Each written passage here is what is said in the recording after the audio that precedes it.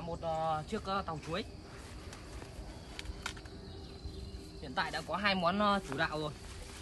Món chuối xanh chuối rừng và món lúa rừng nhá anh em nhá.